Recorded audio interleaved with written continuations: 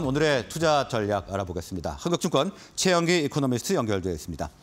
네, 최영기 이코노미스트 나와 계십니까? 예, 안녕하세요. 네, 안녕하십니까. 자, 간밤 뉴욕 증시는 FOMC 결과를 앞두고 어, 약세를 보였습니다. 어, 흐름을 좀 짚어주실까요? 어, 말씀하신 대로 전일 미국 증시 3대 지수 모두 어, 큰 폭의 하락은 아닙니다만 방향성이 뚜렷하지 않은 가운데 어, 0.2%포인트, 0.2% 수준으로 하락세로 마감을 했습니다. 아무래도 이제 내일 있을 FOMC 9월 FOMC 결과를 앞두고 어 일단 뭐 금리 이번에는 이제 금리를 올리지 않는 그러니까 금리 동결을 예상을 하고 있습니다만 어 여러 가지 특히 이제 분기 말에 발표되는 어 금리 전망 점도표라든가 수정 경제 전망 등 좀 다양한 어떤 그 정보들이 나오기 때문에 결국에 이제 그런 것들을 좀 확인하고 가자는 심리가 좀 짙어진 것 같고요. 어 좀 최근에 이제 증시의 부담으로 좀 작용하고 있는 것이 결국에는 이제 유가의 상승 부분입니다.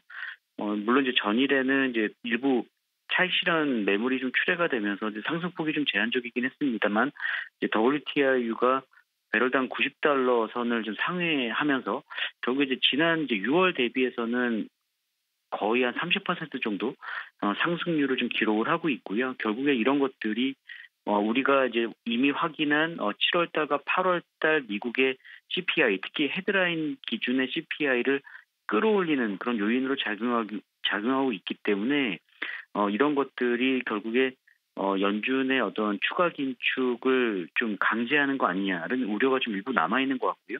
이런 것들을 좀 반영하면서 어, FOMC 회의 결과를 확인하기 전에도 사실상 지금 미국의 2년물이라든가 10년물 금리가 모두 어, 이전의 고점을 좀 경신하는 그런 흐름들을 어, 계속적으로 좀 어, 나타내고 있고요. 이런 것들이 어, 좀 위험자산 선호 심리를 다소 좀 제한하고 있는 것이 아닌가라고 생각을 하고 있습니다.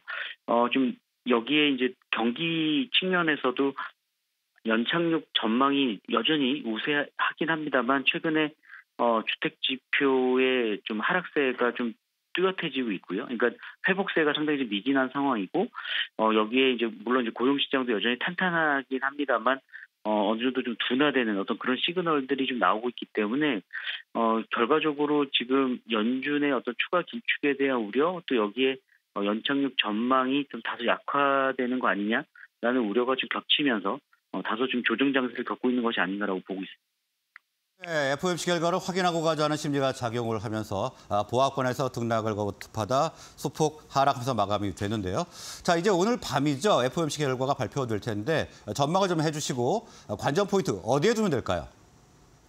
음, 일단은 이제 뭐 금리는 앞서도 말씀드렸다시피 이제 상단 5.5% 어, 상단의 현 수준의 금리가 좀 유지될 가능성이 높고요. 이미 시장에서도 어, 90% 넘게 어, 금리 동결 가능성을 좀 보고 있기 때문에 어, 결과는 뭐 예상했던 대로 좀 나오지 않을까라고 생각을 하고 있고요.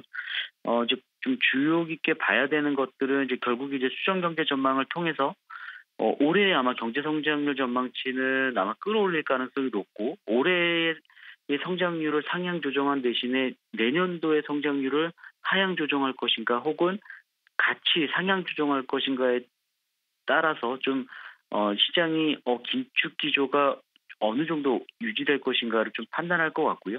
어, 만약에 올해와 내년도의 성장률을 모두 상향 조정시키면 어, 아마 추가 긴축에 대한 우려도 좀 높아질 가능성이 있고 여기에 이, 이 지금의 지금의 그 긴축 기간 역시도 당초 예상했던 것보다는 좀 더 길어질 가능성이 높습니다. 그러니까 예를 들면은 시장에서는 내년 2분기 늦어도 2분기에는 어, 금리 인하에 좀 사이클로 들어가지 않을까라고 예상을 하고 있는데 그것 자체가 이제 미뤄질 가능성이 있기 때문에 만약 그, 렇게 나오게 되면 좀 시장이 좀 부담을 가질 것 같고요. 점도표는 아마 어, 지난 6월달과 크게 바뀌지 않을 것 같습니다. 그러니까 올해 연내 한 차례 추가적인 금리 인상 가능성을 열어둘 것 같고요. 그럼에도 이제 불구하고 연준이 이제 그거를 따라가 따라갈 것인가 혹은 어, 추가 금리 인상 가능성을 열어두지만 현 수준의 금리를 조금 더 오래 유지하는 쪽으로 갈 것인가에 대해서는 아마 파월 연준 의장의 연설에 좀 뉘앙스를 좀 파악을 해봐야 되지 않을까라고 생각을 하고 있고요. 어, 앞서 말씀드린 대로 헤드라인 물가가 올라오는 거는 부담이긴 합니다만 이제 근원 물가 같은 경우는 주거비를 비롯한 일부 서비스 물가가 좀 둔화되는 그런 추세에 있기 때문에 어, 헤드라인 물가보다는 아마 근원 물가를 좀 중시할 가능성이 높아 보이고요. 어, 노동시장의 좀 그 타이트한 여건 자체가 좀 완화되고 있다라는 부분도 좀 언급이 된다면 아마도 시장은 좀 그런 부분에서는 다소 좀 안도감을 찾을 수 있는 어, 그런 쪽으로 좀 어, 해석이 되지 않을까로 생각을 하고 있습니다. 네, 이번 FOMC에서는 금리 동결 전망을 해주시면서 추가 금리 인상에 대해서는 가능성을 열어둘 것이다 이렇게 분석을 해주셨습니다. 자, 오늘 말씀은 여기까지 듣겠습니다. 고맙습니다.